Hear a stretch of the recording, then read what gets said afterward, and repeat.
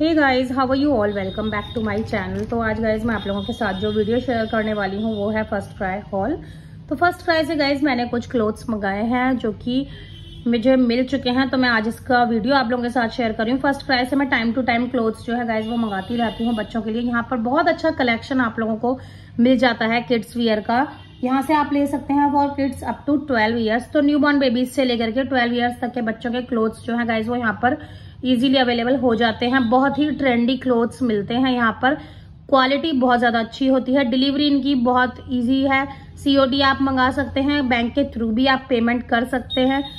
तो अगर winter wears आप सर्च करें तो वो भी बहुत अच्छा कलेक्शन आपको मिलता है। समर्स जब आते हैं समर्स का कलेक्शन भी अच्छा आता है। तो अभी मैं विंटर से रिलेटेड सर्च कर रही थी बेबीज के लिए। तो गैस बहुत अच्छा कलेक्शन आया हुआ था, क्योंकि अब जो है, थोड़ा सा ये होता है कि फुल स्लीव्स के कपड़े चाहिए होंगे, पजामिया अच्छे से चाहिए होंगे बच्चों के लिए तो वही सब मैंने यहाँ से मंगाया है, जो कि मुझे काफ़ी ज़्यादा अच्छा लगा और मैं आपके साथ इसका रिव्यू शेयर कर रही हूँ, साथ ही रीजनेबल प्राइस में भी ये होते हैं।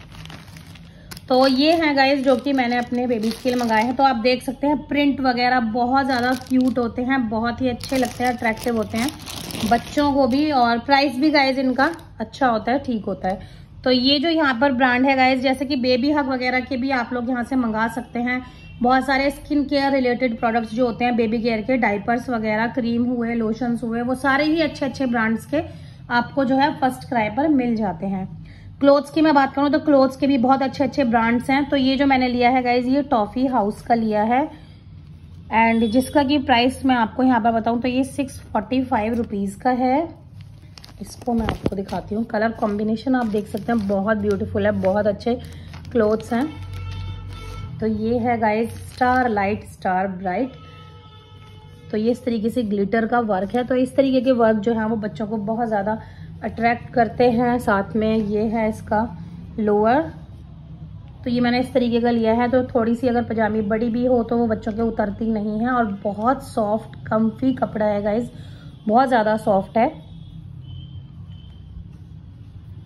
इस तरीके की इलास्टिक है ऊपर की साइड में, जो कि बिल्कुल भी ऐसी नहीं इलास्टिक होती।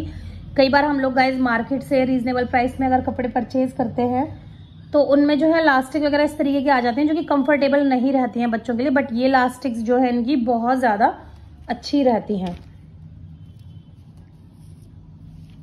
तो एक मैंने ये मंगाया है, ये सिक्स फोर्टी फाइव रुपीज़ का है। टॉफ़ी हाउस का अच्छा ये वाला भी गाइज़ मेरा six forty five rupees sorry toffee house का ही है। एंड इसका जो प्राइस है, ये भी सिक्स फोर्टी फाइव में ही है। तो दोनों six forty five six forty five के हैं। ये वाला आप देख सकते हैं, ये और भी ज़्यादा ब्यूटीफुल कलर है। बहुत ब्राइट सा स्काई ब्लू कुछ ग्रीनिश जो कलर होता है, ये वो है, बहुत क्यूट लग रहा है। My is my heart is only yours तो ये आप इसकी पजामी देखेंगे, ये और भी ज़्यादा सुंदर है छोटे छोटे लिटिल लिटिल से हर्ट्स बने हुए हैं पिंक एंड स्काई ब्लू तो मैंने आपको बताया था, मैं पजामियाँ हमेशा इसी टाइप की लेती हूँ, जो अगर थोड़ी बहुत पजामी बड़ी भी हो तो वो उतरती नहीं है बच्चों के पैरों की साइड से एंकल्स से। और सेम गाइज़ आप देख सकते हैं। बहुत कंफर्टेबल लाइट लाइट सी लास्टिक वगैरह होती है, बिल्कुल भी जल्दी डैमेज नहीं होती है। तो आप भी गाइज़ यहाँ से क्लोथ्स परचेज कर सकते हैं। क्वालिटी की मैं बात करूँ, आप देख सकते हैं, बहुत सॉफ्ट क्लोथ्स है गाइज़ बहुत ज़्यादा मटेरियल जो है इनका, वो बिल्कुल सॉफ्ट मटेरियल है। प्रिंट वगैरह इतना इजीली से नहीं जाते हैं कि वन वॉश में ही आपके जो है ये क्लोथ्स खराब हो जाए। बिल्कुल भी ऐसा नहीं होता है। अच्छे से रहते हैं क्लोथ्स ये वॉश करने के बाद भी। बस ये थोड़ा केयर से ही वॉश करने होते हैं बेबी केयर बेबीज रिलेटेड जितने भी आ, कपड़े होते हैं गाइज़ वो थोड़ा सा केयर से अलग से वॉश करने होते हैं। आप एक साथ ही वॉशिंग मशीन में नहीं डाल सकते हैं सबके साथ में।